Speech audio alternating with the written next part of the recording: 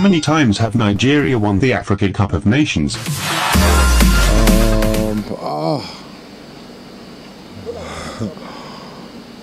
I can only I can only tell of two, but I don't know others, you know. Oh, I should know that as well. But let me think. 2013.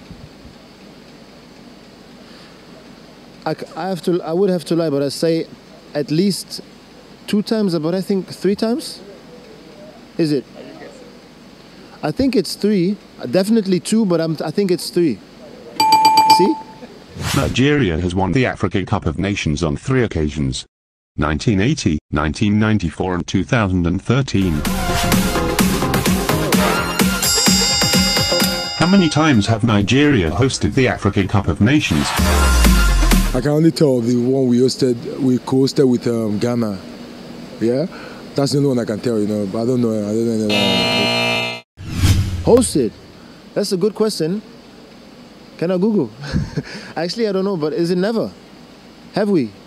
I really don't know. I have to be honest. I'm not gonna lie. I'm a very honest person, so I'm sorry. I don't know if we have hosted one. Nigeria has hosted the Africa Cup of Nations twice. In 1980 and 2000. When was the last time Nigeria won the Africa Cup of Nations? I won the Nations Cup, I think um, 2000, 2003 and 2013. Yeah?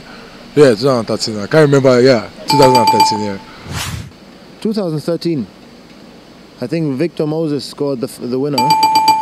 Nigeria last won the Africa Cup of Nations in 2013.